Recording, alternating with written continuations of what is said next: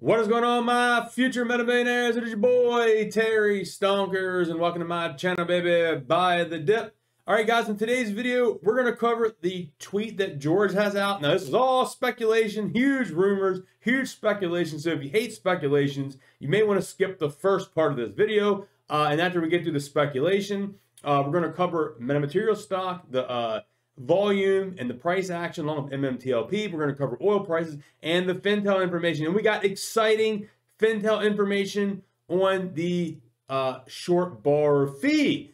First time we hit double digits in a long time. So we're going to cover all that information. And all I ask in return is for you to smash the thumbs up, leave a comment down below. It helps out that algorithm.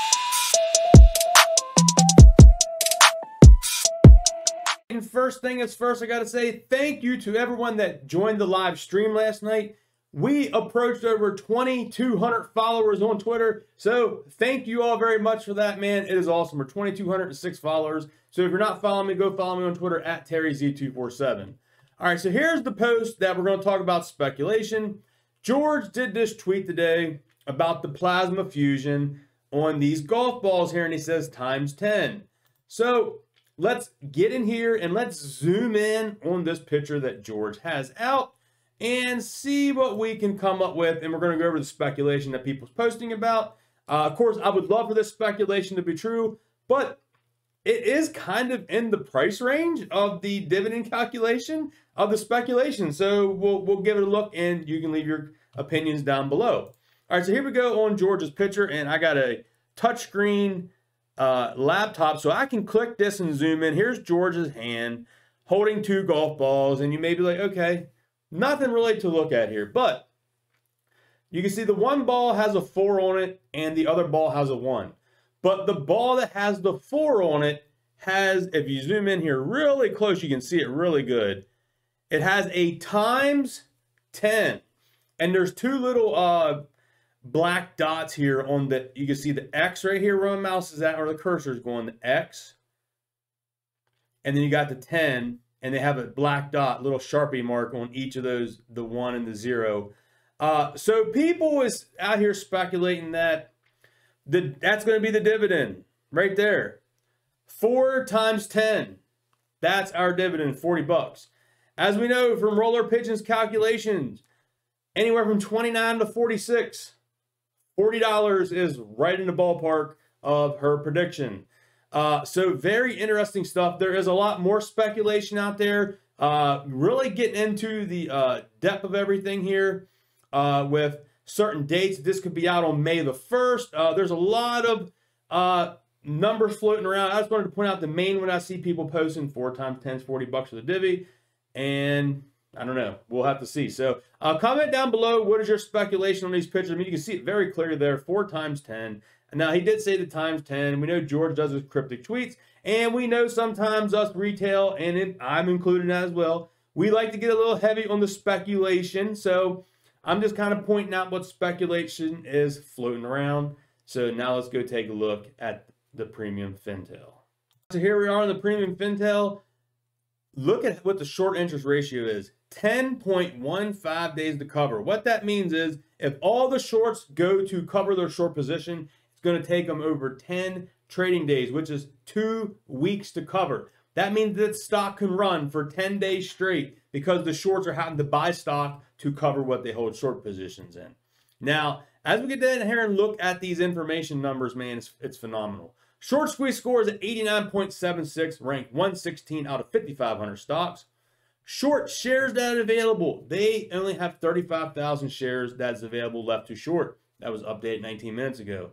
And down here is the most exciting part of the Fintel information I'm happy to bring to you. As I said in the beginning of this, this is the first time that I've seen MMAT Metamaterials have a double digit short borrow fee according to the Fintel. So right now, this is exactly what we want to see, guys.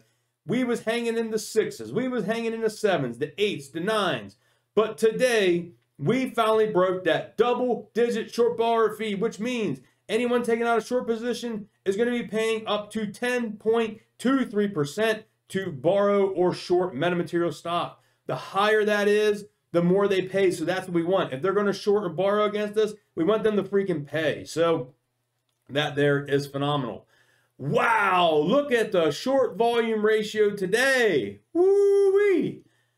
Whoa, 61.26. Guys, just two days ago, we had an 80.19. They are just literally shorting the heck out of any volume that comes in here.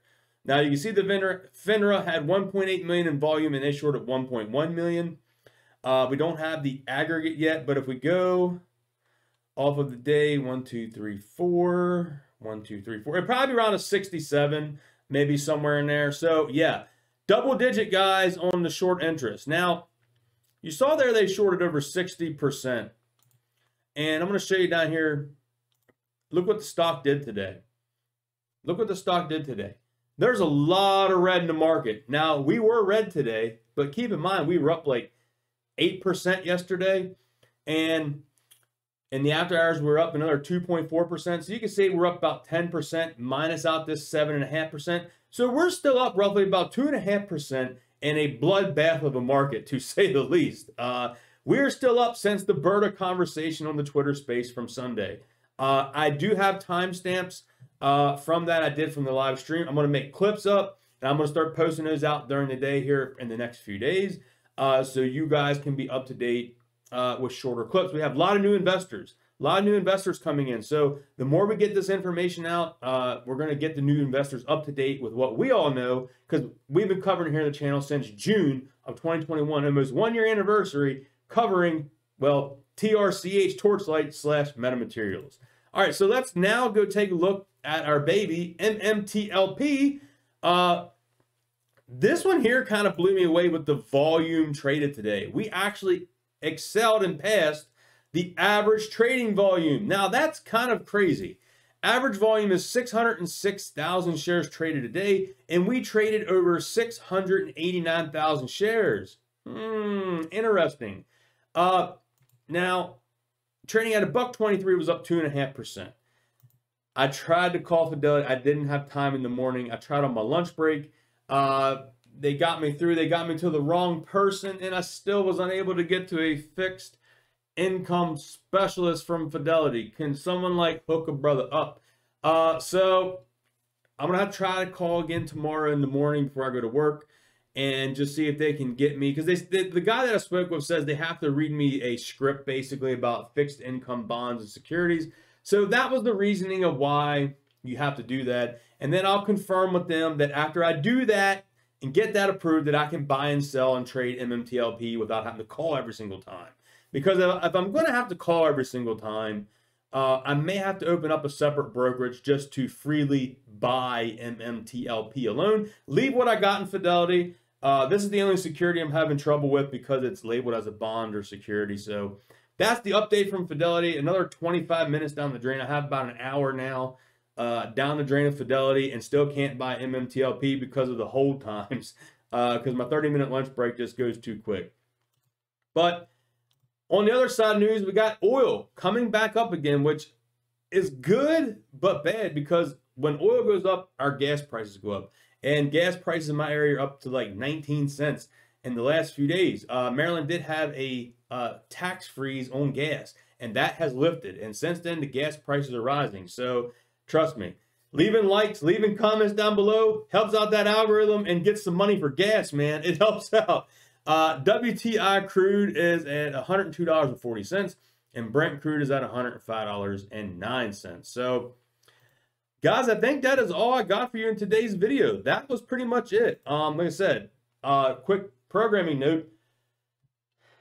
Tomorrow, 8 p.m., supposed to be having that rescheduled live stream with Tony Market Moves. So uh, he's hoping we can do it tomorrow at 8 p.m. Eastern. Uh, so make sure you have that bell notification on here on YouTube. Uh, click it. Make sure you have the bell on. Get that notification. Uh, make sure you're following me here on Twitter at TerryZ247. I told him to message me if any changes happen. Uh, we're gonna have a great live stream. We're gonna hopefully be talking about the big the big deal about proved oil production and how that's going to affect the dividend in a massive way, which I think that's what they're trying to do is get proven oil production, which will make the dividend go to the moon. So hope y'all enjoyed today's video. If you did, smash thumbs up, leave a comment down below, and I'll catch y'all next video, guys. Peace.